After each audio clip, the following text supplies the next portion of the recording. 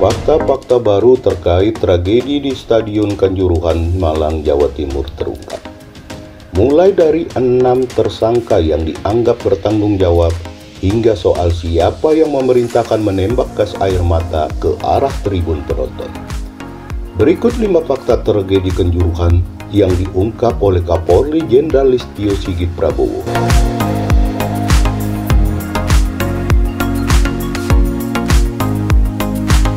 Kapolri Jenderal Listio Sigit Prabowo mengumumkan tersangka tragedi Kenjuruhan. Direktur Utama PT LIB, Ahmad Hadian Lukita, menjadi salah satu yang ditetapkan sebagai tersangka. Lima tersangka lain ialah Kabak Opores Malang, Wahyu SS, Ketua Panitia Pelaksana Pertandingan berinisial AH, Security Officer berinisial SS, dan K3 Brimopolda Jawa Timur berinisial H dan Kasat Samapta Polres Malang berinisial TSA.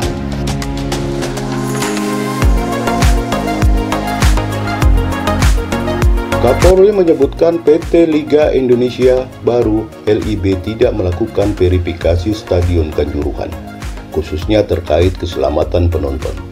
Verifikasi stadion dilakukan pada tahun 2020.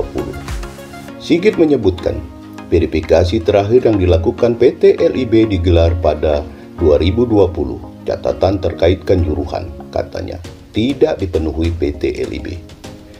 Sigit menyebut verifikasi kanjuruhan tidak dikeluarkan pada 2022 dan masih merujuk verifikasi 2020. Dia menyatakan tidak ada perbaikan atas catatan hasil verifikasi kanjuruhan. Dia juga menyebut tim menemukan fakta tidak adanya rencana darurat untuk menangani situasi khusus dari laga Arema versus Persebaya.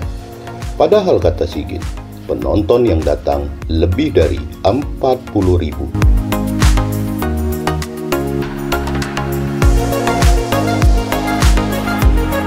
Jenderal Sigit menyebut ada 11 tembakan gas air mata dalam tragedi di Stadion Kanjuruhan Malang.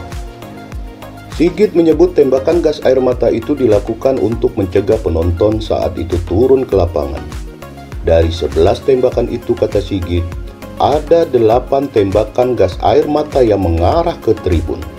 Tembakan inilah yang kemudian membuat para penonton kocar-kacir. Sigit menyebut alasan personel Polri menembak gas air mata. Dia mengatakan, keputusan ini dilakukan untuk meredam rencana para penonton turun ke dalam lapangan.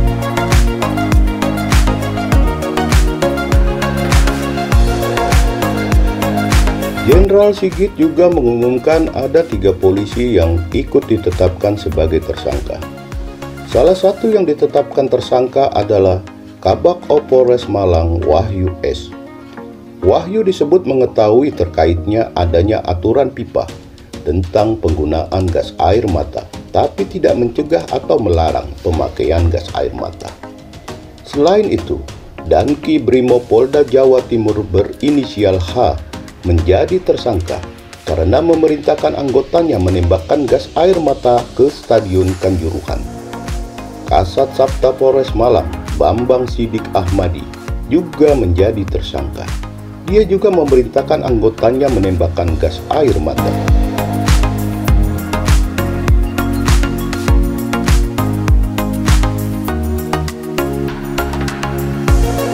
Kapolri mengatakan panitia pertandingan telah mengirim surat kepada Polres Malang pada 12 September 2022 soal permohonan rekomendasi pertandingan Arema FC dan Persebaya pada 1 Oktober 2022 yang akan dilaksanakan pada pukul 20 waktu Indonesia bagian Barat.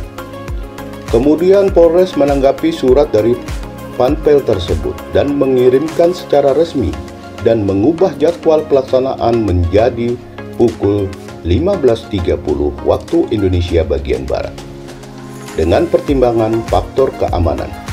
Namun demikian permintaan tersebut ditolak oleh PT LIB dengan alasan apabila waktunya digeser tentu adanya pertimbangan terkait